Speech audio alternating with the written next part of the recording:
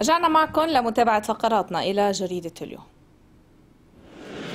بالمبدأ آه، الصحف كانت معطله امبارح آه، باستثناء الديار اللي بتصدر حتى ولو كان عطلة آه، فمعظم الصحف اللي بتصدر بلبنان لم تصدر هذا الصباح ولكن نحن رح نعمل قراءة لأبرز التطورات وما أكثر على ساحتنا المحلية وأيضا ارتباطها بالتطورات الإقليمية.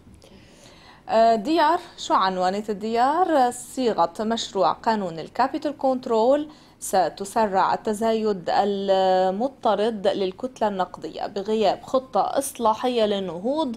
المشروع سيؤدي إلى فوضى نقدية حلو. عارمة. قرار رسمي ضمني بتحرير سعر صرف الليرة والمواطن يواجه المجهول وحيداً. بس غريب ليش بس انحكى عن ال capital control اللي هو كان لازم يكون من سنة ونص مش هلا؟ مثلا. بلشت هلا تطلع الانتقادات. ما هو أصلا لازم يكون من سنة ونص ونحن تأخرنا كثير كثير كثير بال capital اللي بده يطير. 100% يعني والاستنسابية كانت على عينك يا تاجر. صح. وحقهم أصلا لأنه ما كان في قانون بيمنعهم. بس صار في قانون بيمنع التحويلات وبيمنع الاستنسابية بالتحويلات. صار تطلع عليه هيدي الانتقادات. وأهم شيء قرار رسمي ضمني بتحرير سعر صرف الليرة. ليش هو سعر صرف الليرة؟ شايفينه مثبت. يعني نحن اليوم ما وين وين بتلاقوا 1005 دلونا. 3900 وين بتلاقي؟ إيه عن جد نسيل 1005 3900 وين بتلاقيه؟ لنشوف آه، وين رح نوصل بهيدا الموضوع للأسف.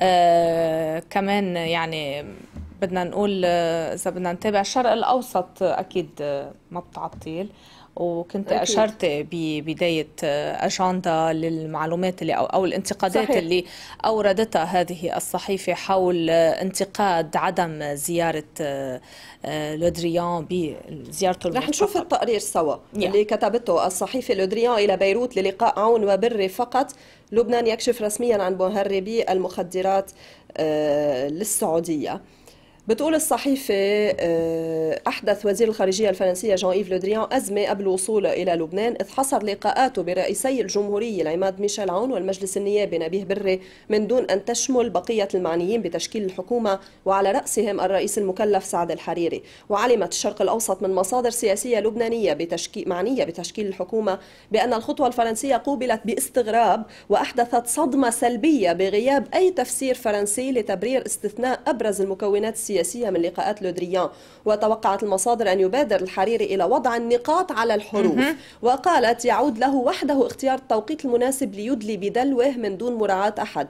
ليس دفاعا عن نفسه وإنما لتصويب ما يمكن أن يرافق محادثات لودريان من تداعيات ومفاعيل سياسية من غير الجائز تحميلها لمن أيد المبادرة الفرنسية بالأعمال لا بالأقوال. بس بفتكر اللي بأيد المبادرة الفرنسية آه، كان في مسعى فرنسي للقاء بيجمعوا بجبران باسيل ونسف هذا المسعى. صحيح. وأهم بند بالمبادرة الفرنسية التضييق الجنائي يؤيد الرئيس الحريري التضييق الجنائي نروح للمغزى يعني الموضوع أكثر من التفاصيل اللي هي عم بتضر أكثر ما بتفيد. وبباريس علمت الشرق الأوسط من مصادر واسعة الإطلاع إنه لودريان يحمل ثلاث ملفات وإنه فرنسا تعمل مع الولايات المتحدة وبريطانيا لفرض عقوبات مشتركة على الجهات الفاسدة أو المعطلة.